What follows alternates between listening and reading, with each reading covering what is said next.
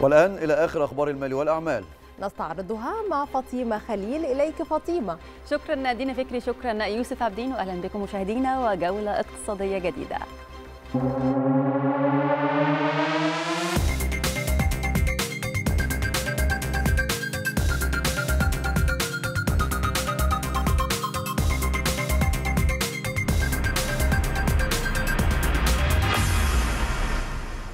نشر المركز الإعلامي لمجلس الوزراء تقريرا تضمن رسما توضيحيا حول المؤشرات الدولية في كافة القطاعات التنموية. ورصد التقرير أبرز المؤشرات الخاصة بالاقتصاد لافتا إلى تقدم مصر خمسة مراكز بمؤشر جاذبية الاستثمار في أفريقيا حيث احتلت المركز الأول عام 2020 وأشار التقرير إلى تحسن تصنيف الائتماني لمصر. وأوضح أن وكالة فيتش ثبتت تصنيف الائتماني لمصر عند B plus مع نظرة مستقبلية مستقرة في أبريل 2022 بينما ثبتت موديز التصنيف الائتماني لمصر عند B 2 مع نظرة مستقبلية سلبية في مايو 2022 كما صنفت ستاندرد أند بورز مصر عند B مع نظرة مستقبلية مستقبل مستقرة في أبريل 2022 أضاف التقرير أن مصر تقدمت ثمان مراكز في مؤشر الانفتاح الاقتصادي وكذلك تقدمها ستة مراكز في مؤشر البنية التحتية والوصول للأسواق. الأسواق ولفت التقرير إلى أن مصر تقدمت 13 مركزا في مؤشر الدول الأكثر جاذبية في قطاع الطاقة المتجددة.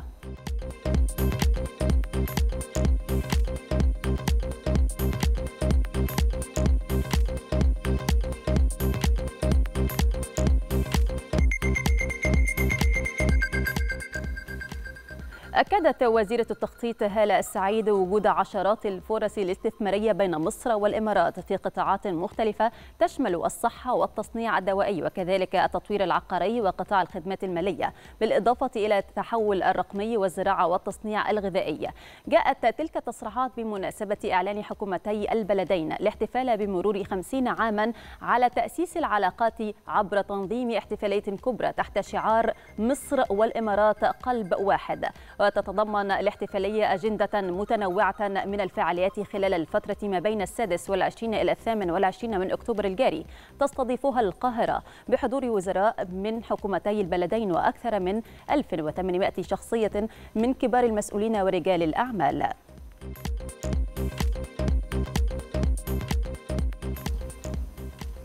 إلى سوق المال حيث أنهت البورصة المصرية التعاملات على ارتفاع جماعي للمؤشرات الجلسة الثالثة على التوالي مدفوعة بمشتريات محلية. ارتفع رأس المال السوقي بنحو مليارين و900 مليون جنيه ليغلق عند مستوى 706 مليارات و354 مليون جنيه. على صعيد المؤشرات فتح مؤشر EGX 30 عند مستوى 10148 نقطة ليصعد بنسبة 15 من 100% ويغلق عند مستوى 10100 63 نقطة. كما فتح مؤشر الشركات الصغيرة والمتوسطة EGX 70 عند مستوى 2296 نقطة. ليغلق مرتفعا بنسبة 85 من 100% ويغلق عند مستوى 2214 نقطة. فتح مؤشر EGX 100 عند مستوى 3147 نقطة. ليصعد بنسبة 58 من 100% ليغلق عند مستوى 3165 نقطة. إلى أسواق العملات حيث تبانت أسعار العملات أمام الجنيه المصري ليسجل الدولار الأمريكي نحو 19 جنيه و63 قرشا للشراء و19 جنيه و70 قرشا للبيع. بالنسبة لسعر اليورو وصل سعره إلى 19 جنيه و31 قرشا للشراء و19 جنيه و39 قرشا للبيع. أما عن سعر الجنيه الاسترليني وصل سعره إلى 22 جنيه و22 قرشا للشراء و22 جنيه و31 قرشا للبيع. أما عن أسعار العملات العربية فسجل الدرهم الإماراتي نحو 5 جنيهات و34 قرشا للشراء و5 جنيهات و36 قرشا للبيع. أما عن سعر الريال السعودي وصل سعره إلى 5 جنيهات و22 قرشا للشراء و5 جنيهات و24 قرشا للبيع. في أسواق المعادن النفيسة ارتفعت أسعار الذهب العالمية لتصل إلى 1654 دولار. ومحليا سجل عيار 18 نحو 950 جنيه. بالنسبة لعيار 21 سجل نحو 1110 جنيهات وهو الأكثر مبيعا. بالنسبة لعيار 24 وصل سعره إلى 1270 جنيه. أما عن سعر الجنيه الذهب وصل سعره إلى 8810 جنيهات.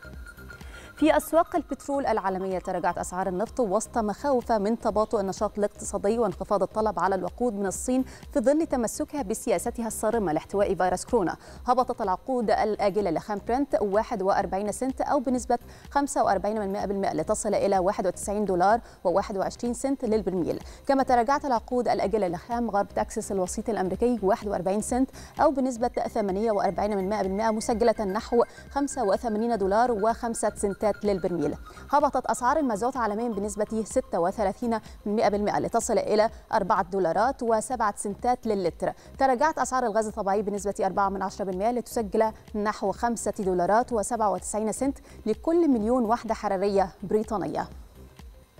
قال الأمين العام لمنظمة أوبك هيثم الغيس إن أوبك بلس قررت بالإجماع اتخاذ موقف استباقي للمساعدة في استقرار أسواق النفط العالمية مشددا على أن المنظمة ستدافع عن انتقال متوازن وشامل للطاقة لا يستثني أحد. وخلال كلمته في مؤتمر للطاقة في كيب تاون بجنوب أفريقيا أكد الغيس أن النفط سيظل صاحب النصيب الأكبر في مزيج الطاقة. كما أضاف الأمين العام للمنظمة أن النفط بحاجة إلى 12 تريليون و100 مليار دولار استثمارات على المدى الطويل متوقعا أن يشهد العالم نقص في الطاقة إذا لم تتحقق تلك الاستثمارات.